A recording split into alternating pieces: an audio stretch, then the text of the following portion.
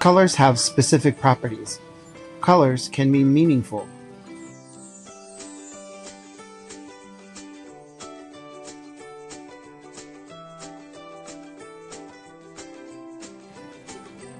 We can define colors.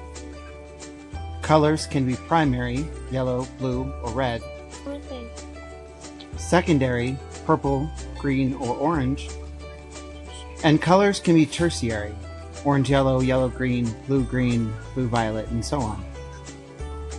Finally, we can use colors harmoniously.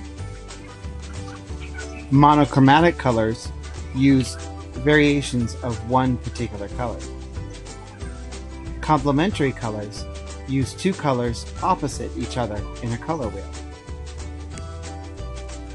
Split complementary colors use a base color and two colors adjacent to the base color's complementary color. We can use colors in other ways too, such as this triad,